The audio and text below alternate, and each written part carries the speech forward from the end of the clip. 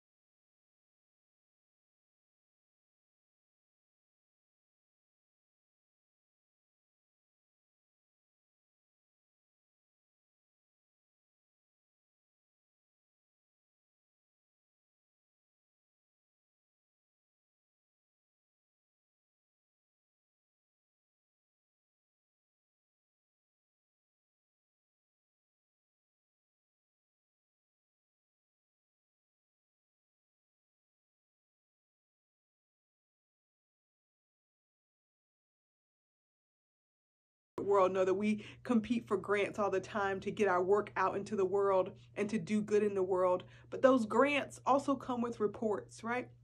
So when someone gives a nonprofit organization a grant, they want to know what they did with that money.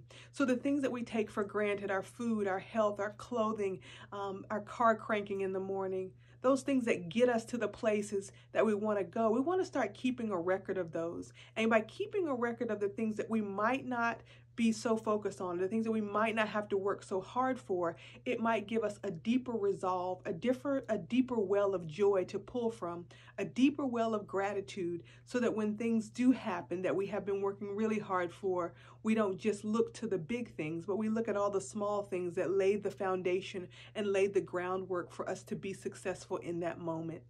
There are a lot of gifts that we're going to get this year. There are a lot of re-gifting that's going to happen but always think about the things that we're taking for granted so that we don't take them for granted and they can be a gift to others as well as gifts that we receive each and every day, not just on the holidays.